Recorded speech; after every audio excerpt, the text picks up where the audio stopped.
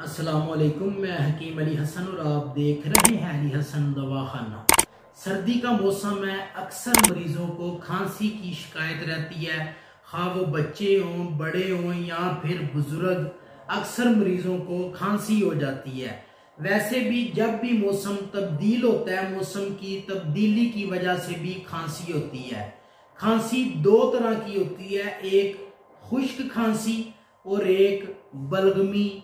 या रेशे वाली खांसी जिसे बोलते हैं वेट कफ ड्राई कफ और वेट कफ की मेडिसिन अलग अलग दी जाती हैं।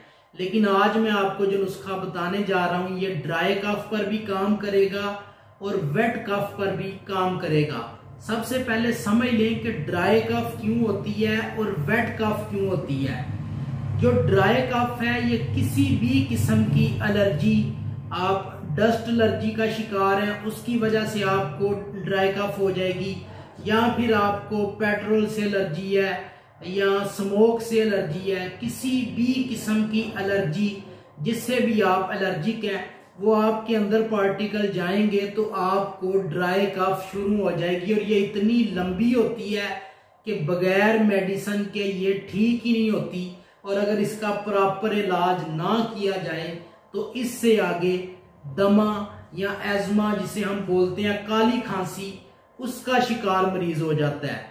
तो इससे बचाव के लिए और अक्सर मरीजों को जो आमतर खांसी लगती है मौसम की तब्दीली की वजह से, सर्दी की वजह से, बलगमी खांसी जिसे वेट कफ बोलते हैं, उसमें कोई ना कोई वायरस या बैक्टीरिया अंदर चला जाता है और लंग्स को जाके डैमेज करता है। उस वजह से वेट कफ हो जाती है, उसमें जब मरीज़ खांसता है तो खांसी के साथ सीटी की आवाज़ आएगी या फिर प्रॉपर आपको इन्फेक्शन या रेशे की आवाज़ महसूस होगी खांसी के साथ।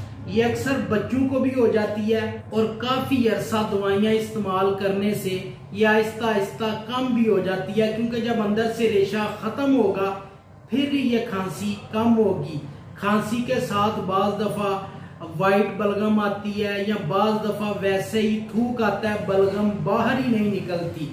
आज मैं जो आपको नुस्खा बताने जा रहा हूँ, ये ड्राई कफ के लिए भी मुफीद है और वेट कफ के लिए भी मुफीद है। ये दोनों तरह की खांसी के लिए बहुत ही मौसर है।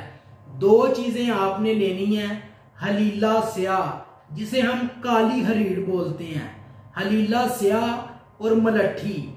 ये बराबर मिकदार में आपने दोनों चीज़ें ले लेनी है। यानी हलीला स्याह की जो मकदार है, वो आपने गुठली निकाल के फिर उसका वज़न करना है।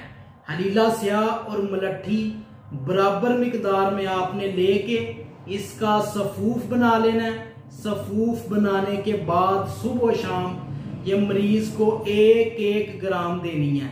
एक एक ग्राम पानी के साथ भी इस्तेमाल कर सकते हैं।